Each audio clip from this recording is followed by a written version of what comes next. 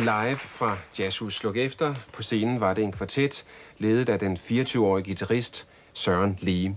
Og dermed velkommen her til Midt i Musikken, hvor vi lige nu har skruet tiden nogle dage tilbage. Vi befinder os faktisk i et pladeindspilningsstudie i København. For det er jo meningen, Søren, at øh, der skal indspilles en plade med denne her kvartet, dels med optagelser fra Sluk Efter, og dels også her i Sun Studio. Mm, det er rigtigt. Øh, jeg har sat sig på, at det skal blive en, en stort set en uh, studieplade, samtidig med et par numre fra live.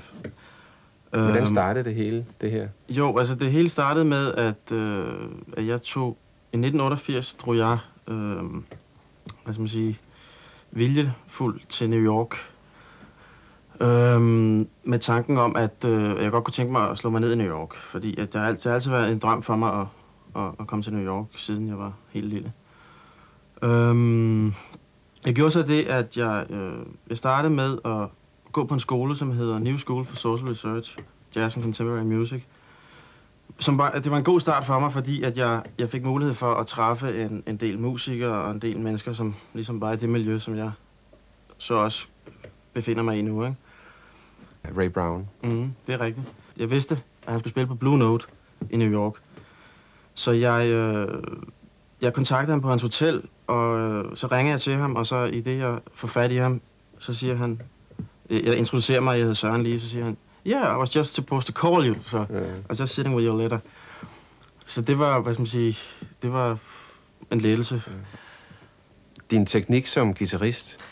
Ja, øhm, jeg spiller meget, øh, jeg bruger mange forskellige effekter, når jeg spiller. Øh, øh, blandt andet akkord, akkord, akkordforløb, og øh, jeg kan finde på at bruge oktavteknik. Det vil sige, at du har hvad skal man sige, du, to toner på en gang, du spiller på en gang.